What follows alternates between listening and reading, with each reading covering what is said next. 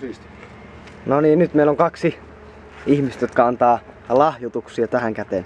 Kiitoksia lahjoituksesta ja sitten tulee toinen 40 senttiä saatiin. Tuemme Masa-radiota. Kyllä. Kyllä, Henkeä kiitoksia. ja vereen.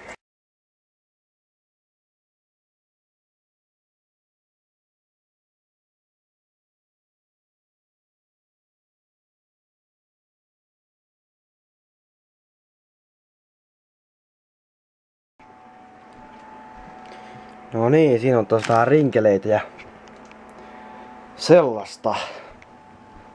Sitten kun ei pysty, tai no pystyy kävelemään, mutta ei viiti kävellä, kun sukat on ihan hikiset märät, niin siellä on jokin kaunis ilma.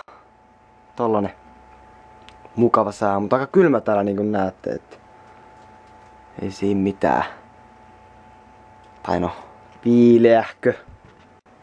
Mä yritän nyt ruveta tekemään tässä haastattelu ja mulla on kaksi tuntia aikaa. Kello on nyt neljä. Mulla on kaksi tuntia aikaa.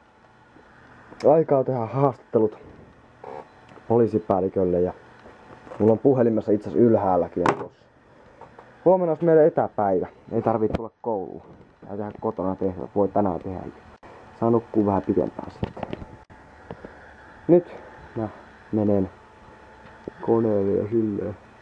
Palataan.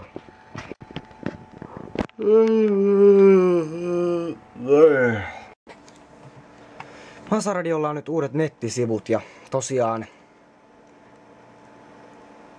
täällä on, kun meet Googleen tänne näin, niin kirjoitat tänne hakukenttään sen vanhan sivuosoitteen, eli tämän vanhan.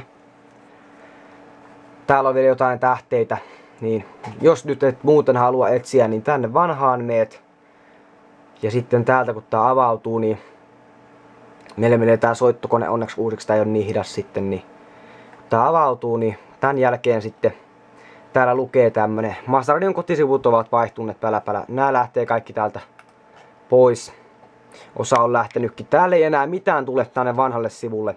Masaradion kotisivut ovat muuttuneet. Uudet sivut tuolta masaradio.arkku.net Eli siis uudet sivut osoitteessa www.masaradio.arkku.net ja klikkaat sieltä, niin tän, näkön, tän näköinen näkymä tulee sen jälkeen tässä.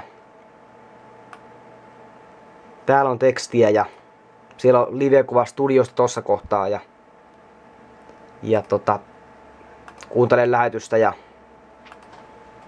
sellaista, niin tule tänne sivulle, jos haluat löytää kotisivut.